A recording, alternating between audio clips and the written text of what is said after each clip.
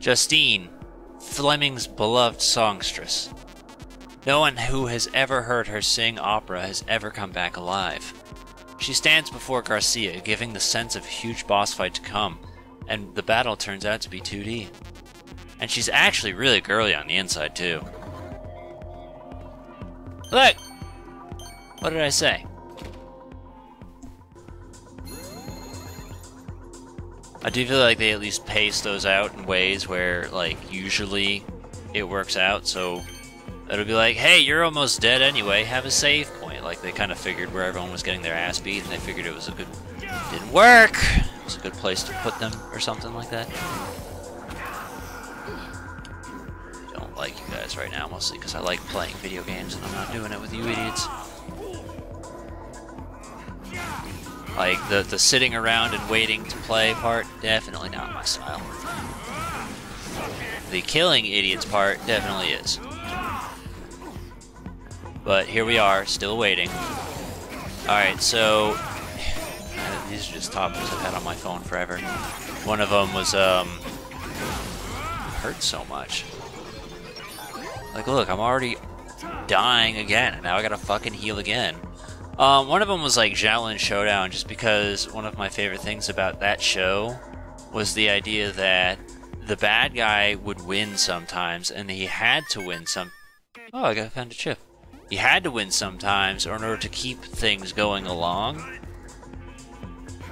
And, you know, it made sense, and I liked it, and that's kind of a, a thing I think about, because one of the things, like, let's say with just Pokemon, it, for example, is, like, when has Team Rocket ever achieved anything?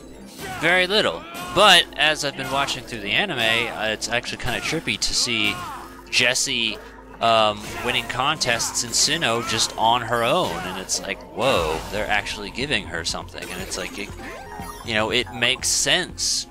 Like they have to be able to gain experience and become experienced in some way, whether they're the bad guy or not. Like it, that's just kind of how things happen, you know but it feels like very few shows acknowledge something like that where the enemy can be strong and achieve things. So when it actually does do that, then it becomes unpredictable. And you, you become more invested. You're like, well, I don't know who's going to win. I don't know the outcome of what's going to happen.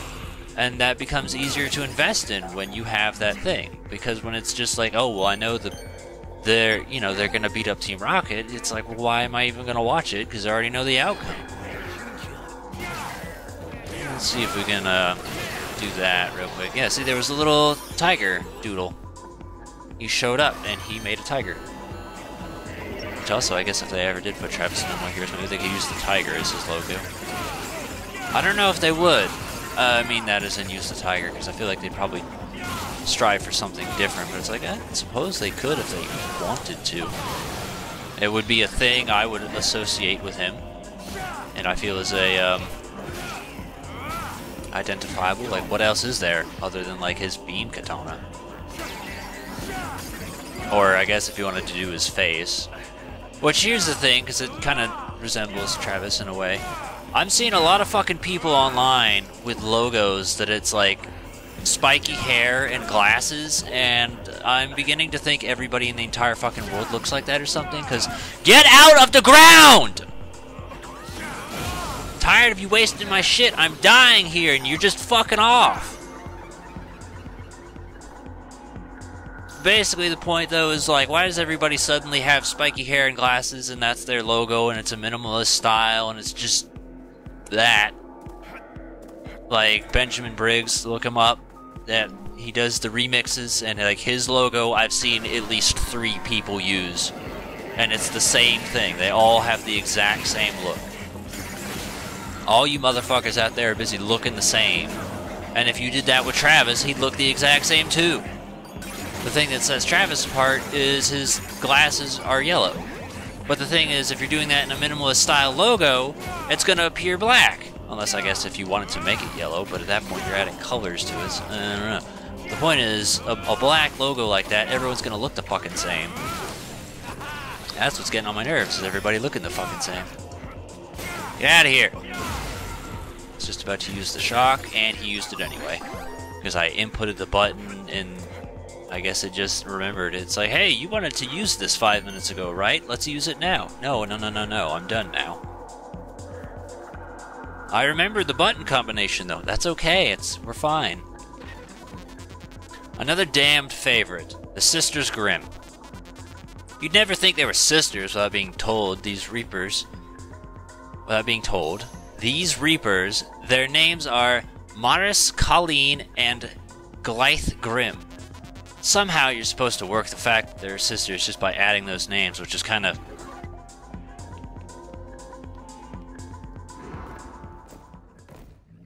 I'm gonna die now.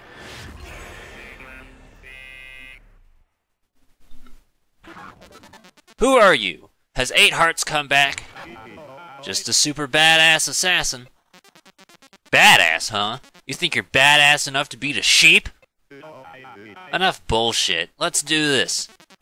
It's your fifth trial, punk. You know what makes a mid-boss really terrifying? Getting harder and harder. Die! I'll show you what badass means. I'm gonna crush your ass.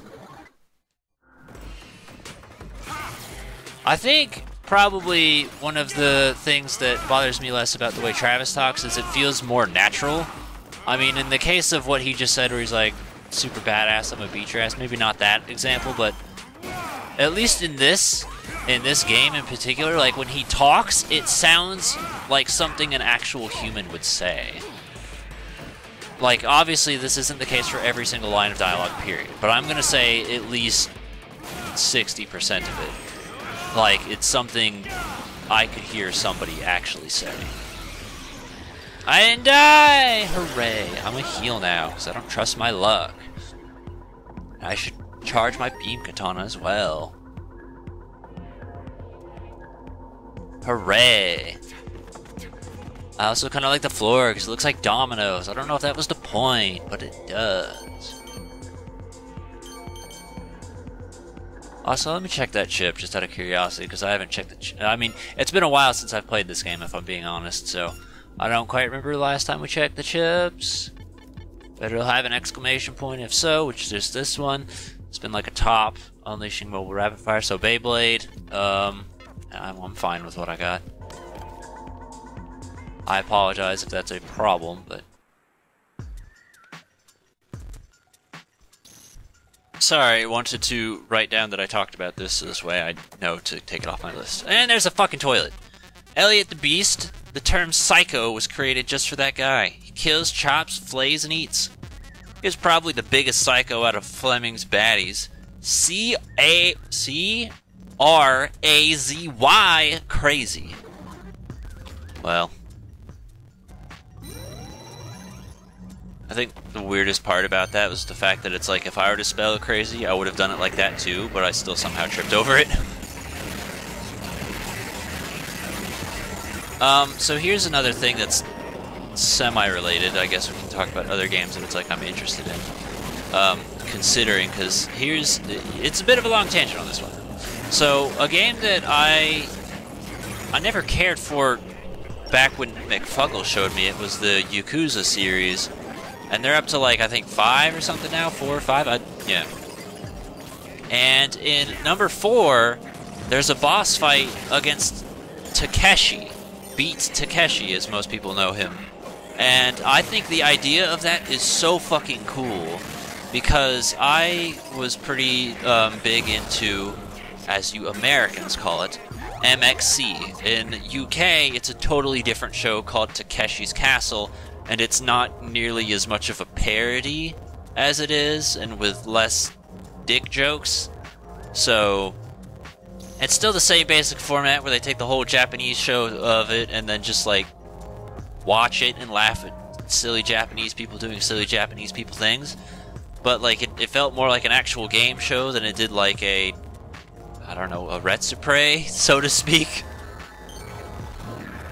And yeah, I don't know. That's basically just the best way of describing it. So I love that show as a kid, and that's the way I'm always going to think of it as. I'm always going to prefer it over MXC. It also didn't have um, the um, those two guards doing the commentary. It was an English comedian by the name of Craig Charles, if I remember his name correctly. and he was the one just doing all the commentary. You guys need to piss off, please. So, and they, the MXC also never showed the final battle either. Because what was supposed to happen was when they got to the end, they were supposed to battle against Takeshi, and they do like the little thing where they're in the tanks and they shoot lasers at each other, or they shoot water gun at each other. But they never showed that in MXC, and I never understood why. I just thought it was weird. Was just like, here's random compilations we've taken through things, as to where, like, in Takeshi's Castle, the goal was you have a hundred people, here's they're going to try these challenges, and people are going to fail, and the winners move on to the next. And truth be told, I'm not entirely sure I believe that every single one of those people actually won. They probably just picked some and said, yeah, you can go ahead and go through because we still need people. I don't remember. I think there might have been a few examples where nobody actually survived long enough to reach Takeshi. I think. But, um, yeah, for the most part, that was the way. It was an elimination game show, not a piss take. So I want to go up here first because that's a dead end. It's not a dead end! Oh my god, I've been deceived. Travis, what do we do? Travis, we did the right thing. We got a coin that we don't need because we already have everything unlocked. Actually, you know what? I should. Is there a way I can check the ramen from here?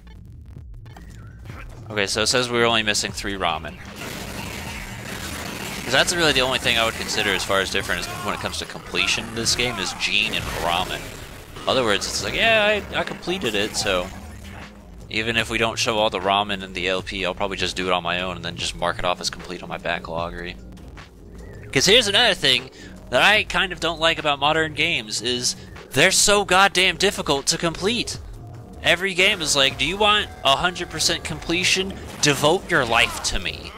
And it's like, uh, I'm never gonna ever be able to fucking get like 100% completion in something like Breath of the Wild because I have to fucking marry the game, and that's just dumb and annoying, and I don't want to do that. I feel like, I think I did enough time as is clearing Breath of the Wild. I was quite happy with it, but they're like, oh no no, you gotta find the literal pieces of shit. That's dumb. And then like with Odyssey, apparently you can buy like a thousand moons. Like I would just consider completing the checklist 100% enough, but no! Fucking get coins and buy shit. Like, why? What else? What else is stupid and has unreasonable demands? I need to think for a second while I look at this.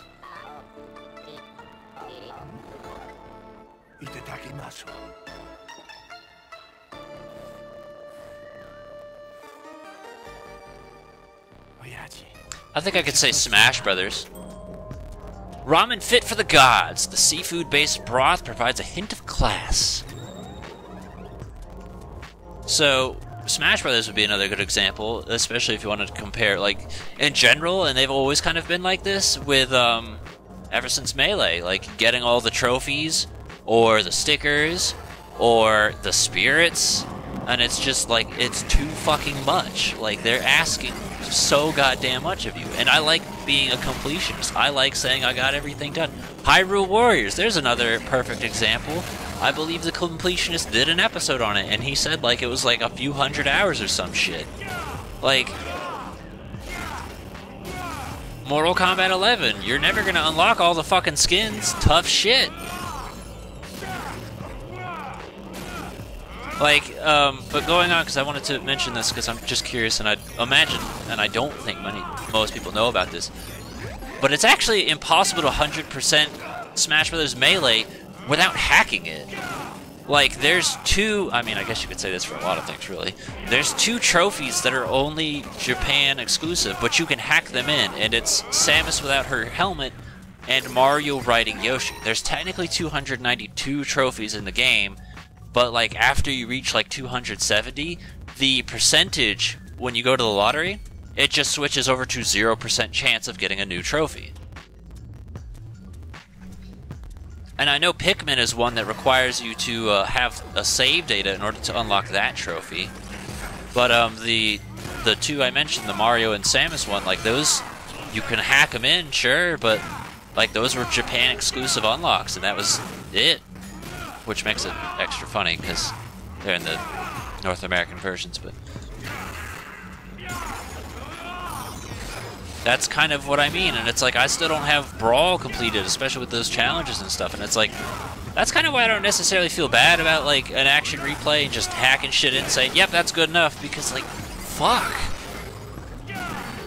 The amount of time and work required on something like this, where it gives you so much stuff to do, and it's just like, I appreciate giving me my bang for my buck. Don't get me wrong, I do. That's a very courteous thought. But I do feel like there is too much of something. And I commented this on like a lot of games when I LP them, is it's like, yeah, this is a good length game. This is a fine length game. Uh, Mario vs. Rabbids, there's another example. Like, they have a challenge level for everything. So if you want to get 100% completion, you beat the game twice. And then do the hard levels. And it's like, that's a lot of fucking work.